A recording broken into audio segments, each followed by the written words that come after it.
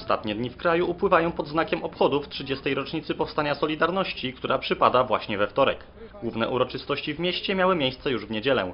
Dziś natomiast w hołdzie twórcom Związku Zawodowego przedstawiciele Młodego Włocławka zorganizowali nietypową akcję. Dzisiaj przypada 31 sierpnia i tego dnia 30 lat temu e, w sali BHP Stoczni Gdańskiej zostały podpisane porozumienia sierpniowe. E, Projekt Włocławek i Młody Włocławek e, w tym roku jak gdyby przystąpiły do dosyć szczególnego uczczenia e, rocznicy Solidarności, bo na swój sposób jesteśmy, czujemy się związani e, z ruchem i z ideą e, Solidarności. A ta akcja ma na celu jak gdyby po pierwsze uczczenie tej 30. rocznicy, a po drugie uświadomienie mieszkańcom Wrocławka i wszystkim przejeżdżającym, że znajdujemy się właśnie na, oficja- na oficjalnym Placu Solidarności. Jest to e, o, przyjęte przez Radę Miasta miejsce, które nazywa się oficjalnie Placem Solidarności. Być może wielu mieszkańców nie wie, że taki plac w ogóle istnieje. Może dlatego, że placem trudno nazwać wyspę w środku skrzyżowania ulic Toruńskiej, Wyszyńskiego, Okrzej i Wienieckiej. W innych miastach jest to bardziej przystępne miejsce.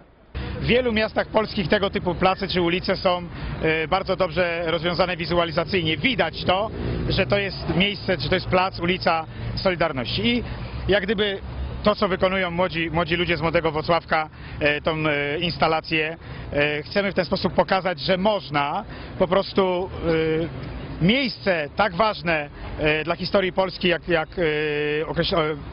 nazwę Solidarność, powinno mieć swoją również oprawę jak gdyby graficzną. Dzieło młodzieży to na razie prowizorka. Pomysł należy jednak docenić, a i plany, aby lepiej uwidocznić ten plac, zostały już wprowadzone w życie.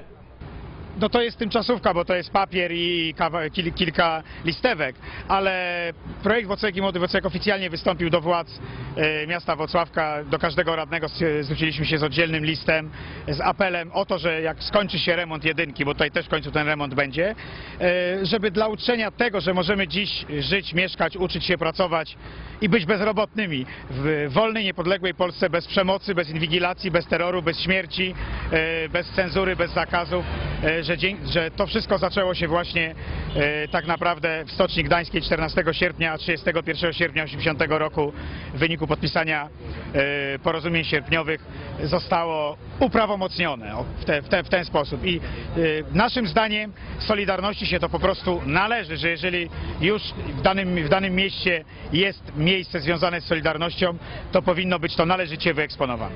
Młodzi ludzie zorganizowali to przedsięwzięcie i niestrudzenie konstruowali symboliczny napis. Mimo iż 30 lat temu nie było ich jeszcze na świecie, więc tamte wydarzenia znają jedynie z opowieści. Przede wszystkim chcemy uczcić e, tych ludzi, podziękować im w ten sposób e, za to, że możemy żyć e, w wolnym kraju, głosić własne poglądy i myślę, że to jest dobre podziękowanie. A polityczne, obywatelskie, upamiętnienie tego wielkiego ruchu, który zapoczątkował upadek komunizmu nie tylko w Polsce, ale w całym bloku wschodnim. Okazuje się, że młode pokolenie Polaków szczególnie ceni sobie NSZZ Solidarność i z nim też kojarzy cały ruch Solidarności.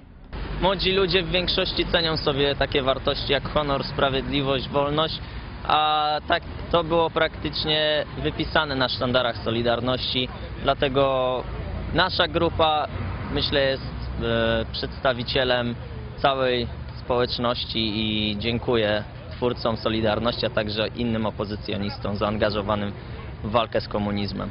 Dzisiejsza akcja na Placu Solidarności we Włocławku pokazuje, że nasza młodzież także miewa świetne i ciekawe pomysły. To dobry prognostyk na przyszłość, gdyż być może najaktywniejsi z nich będą kiedyś decydować o znacznie poważniejszych sprawach dla miasta.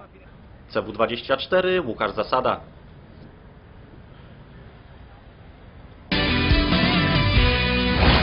LCPL. Lepsza strona Włocławka.